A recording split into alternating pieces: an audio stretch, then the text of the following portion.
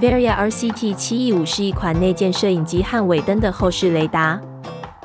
有时候骑车时，您可能会想要录下某段路途并储存起来。本片会示范如何操作。预设设定下，Varia RCT 七 E 五开机后会持续录影。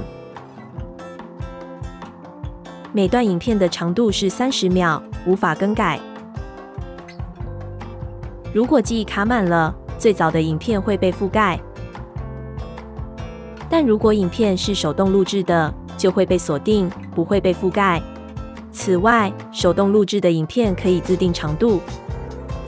如要自定手动录制影片的长度，在 Varia App 中选择您的装置。摄影机。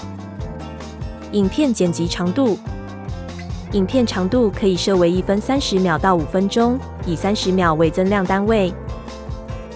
有四种手动开始录制的方式：一、按下 Varia 上的摄影机按钮；二、在 Varia App 中点选影片图示；三、在已配对的 Edge 上，从荧幕顶端往下滑，进入小工具。点选影片图示，点选储存剪辑来开始录制。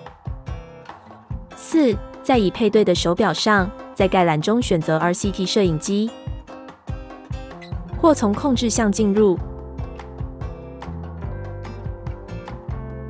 选择影片图示。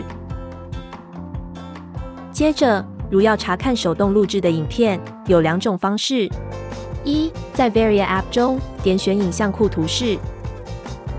加入 Varia WiFi 网路，手动录制的影片会在已锁定分页中。二、将 Varia 连接到电脑，手动录制的影片会在一零二 Save 资料夹中。最后，在不同录制模式下，手动录制的影片会有不同的起始点。在雷达活动进行时和关闭模式下，Varia 会在按下摄影机按钮的那一刻开始录影。但在持续模式下，影片的起点会是前一个三十秒的片段。以上是本次教学，谢谢收看。